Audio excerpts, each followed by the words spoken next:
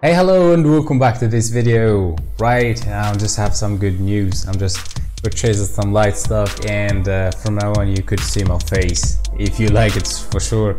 Uh,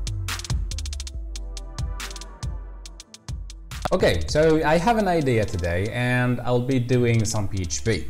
And the main topics of this video is how to uh, transform multi-dimensional arrays like this, like three or four tables mix it together and turn them into a single array like flatten array without any uh, subtraction or deep tables. To implement this uh, let's go ahead on this computer and see how we could do this together. Great. Nice right? Great. Well right. Uh, let me just start by launching that php server. Php yeah. And make sure that it's up and running. Yep. And right here I'll start by defining my table. So let's say array equal to a mix of arrays.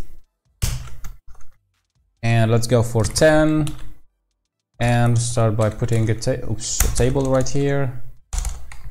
And up up up whatever. And another table or another variable and put another table and that's good be enough. Okay, so the problem I'm facing here that JavaScript doesn't interfere with PHP. So from time to time I do console log instead of echo. Uh, you know, the kind of things just get mixed together. But uh, I'm just doing my things to figure out. Okay, so the next thing is to think about the logic that we are going to implement right here. Uh, so the idea that I'll be using recursivity. So when the input, when the key, the current key, for example, the 10 is not a terrible, is not a, it's not a variable, it's not an array, then we simply push it to an X table that will be defined later. If it's a table, then we need to uh, recall back the method that we'll be creating and iterate through the table and push its values until inside the X uh, results table that we'll be defining. Okay, so a lot of talk, but uh, it's hopefully you could understand me. So I'll start by defining a function. Let's call this uh, get uh, get get things together. Okay, you can call whatever you want. Together, together, and it will take an array of type array. Okay, the body of this method. So first of all, we need to make sure that we have a valid array. We cannot accept like uh, any random things to uh, waste time on treating that etc so I do if is or if is not an array so is array yeah, then uh, then dollar array yes. So I just return false. Simple as that. Okay now we could proceed well. Things so starting by a for each loop for each and I'll do for each um, dollar array as key value or simply go to value but doesn't really matter for here. So if this value uh, if this one is an array the first condition if is an array then value for sure. Then we'll do some stuff right here. Elsewhere we will do another stuff. Okay so other stuff is saving that current index as a proper value that's not an array so right here, I would like to define a new parameter or variable called results, for example, that equal to an empty array for now. Nice. So right here, as I said, if it's not an array, then I will do dollar result and just push inside it the dollar value. Nice. Okay. And right here, so this is like the tweaked stuff and a bit complex it not really complex, it's ridiculous and easy. I'm just doing things for YouTube.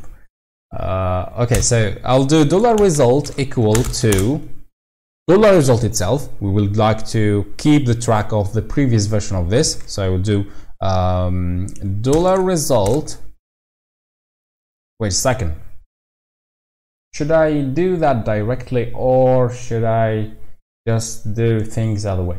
So we need to track, as I said, you need to keep track of the result, then mix it or merge it with a newly uh, injected array, for example, this one. So we need to put them together, to merge them actually, and recall back this, uh, this gathering uh, to help whatever I call it. So right here I will do array, array merge, and as the name explained, it will merge two array, two or more arrays actually. So the first array to merge is the dollar result, and I'll be merging it by the result of this method, the recursion of this method. So right here, I will call it again, and I'll pass the value to it. The value is, as I said, uh, is like a result of this for each loop. And for example, it will be this one or this one or any other table that will be found inside our main table. So everything should be fine now. And don't forget to return dollar result. And finally, time for truth. Let's call this method and see if it does respond correctly. So I will call it using that array and let's refresh this was wrong. I, I just have to put a print_r or something that display that table. What about doing an echo? Okay, I would like to do echo. So normally you should put return as I did, but since we I would like to display things quickly, I will do echo echo pre.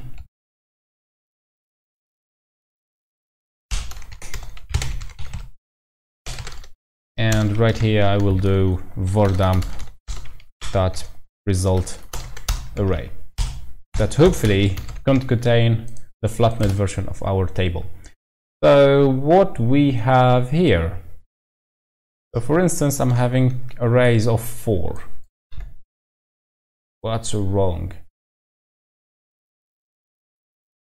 I did not understand what happened there. Have a result, So we have, let me move these things away. We have all the tables except other one. Ah, yeah. So, sorry, right here, I would like to use the keys instead. So now if I do refresh, nothing really happened. What the heck?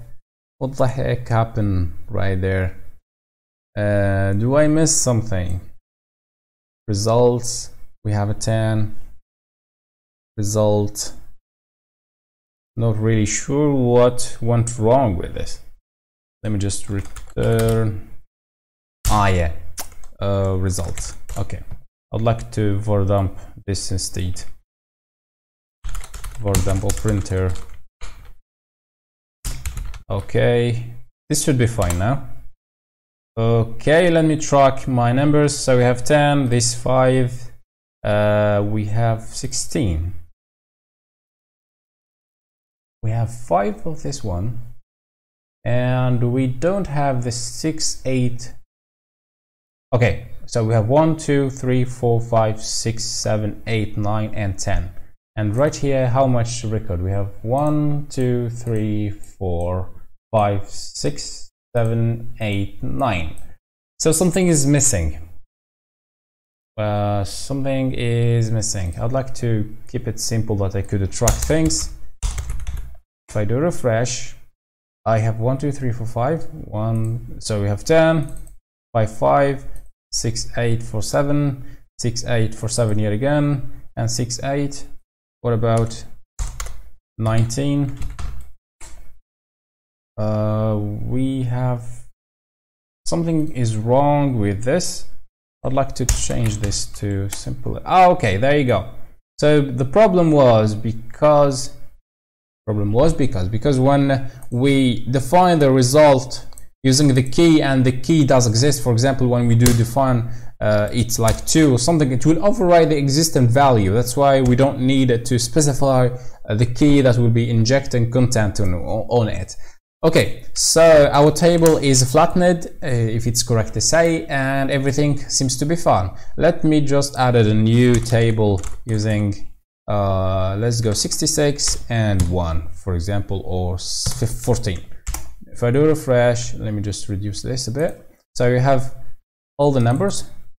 What about 1 2 this is easy to track. 3 4 and 5 1 2 3 4 5 19 66 and 14 great and very nice. Okay guys that was um, this algorithm this simple php algorithm. Hopefully this could be useful to somebody out there especially if you are passing in an review you could get something like this on the questions. Um, thank you for watching. I would like you really to thumb up this video if you like it. Share it with your uh, people if you like it too and don't forget to subscribe to this channel. And uh, please please use that comment box below because it does really motivate me when I see people just chatting and uh, sending me feedback about my videos. Um, that's it for this video. Have a nice day